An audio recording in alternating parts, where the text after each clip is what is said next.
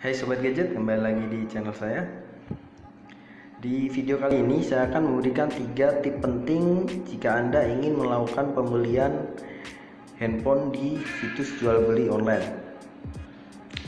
Oke, tapi sebelumnya jangan lupa dulu tekan tombol subscribe supaya saya lebih bersemangat lagi ya walaupun lagi di dismonetisasi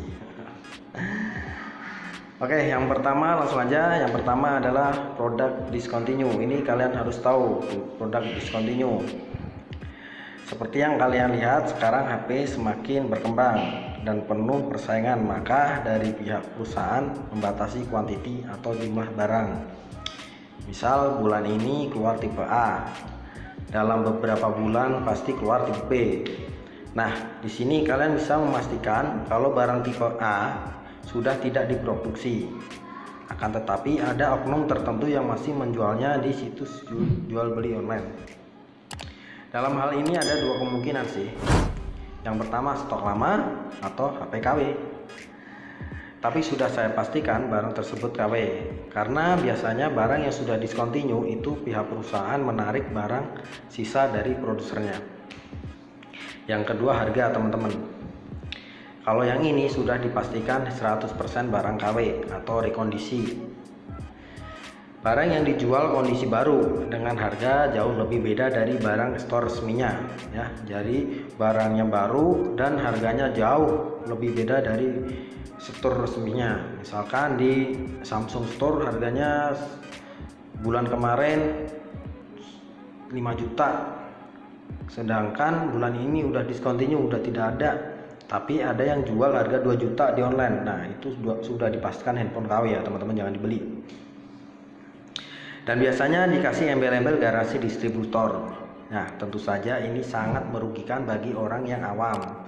Tergiur harga yang murah tapi yang didapat barang KW oke yang ketiga tanyakan dulu apa chat dulu ke penjual apakah barang itu diproduksi di Indonesia atau di luar negeri misalkan di China jika penjual barang itu bilang produksi di luar negeri, saya menyarankan jangan dibeli kecuali kalian belanja di online shop yang berbasis internasional, misalkan dari bebas tour dan sebagainya.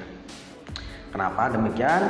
Karena eh, yang saya tahu ya eh, barang yang dijual di Indonesia itu harus mempunyai pabrik di Indonesia ya kalau handphone ya misalkan Vivo Oppo ada di Tangerang gitu Oke teman-teman itu tadi tiga tip penting jika kalian ingin melakukan pembelian handphone di online ya. Kalian harus betul-betul perhatikan tiga tip tadi ya. Yang pertama diskon eh, barang diskontinu yang kedua harga. Yang ketiga itu barang buatan dari mana atau made in mana gitu ya. Kalau made in Indonesia beli aja itu handphone asli gitu. Dan harganya yang masuk. Jadi handphone eh, harganya nggak jauh-jauh. Beda dari eh, harga yang pas baru keluar. Misalkan harganya 5 juta dia ada 4,7 atau 4,5 itu masih ya terbilang handphone asli. Soalnya harganya nggak terlalu jauh. Tapi kalau misalkan turun 50% ya itu handphone KW teman-teman Oke itu aja ya teman-teman yang bisa saya sampaikan. Jangan lupa like, komen, dan subscribe-nya supaya saya tetap bersemangat. Salam gadget.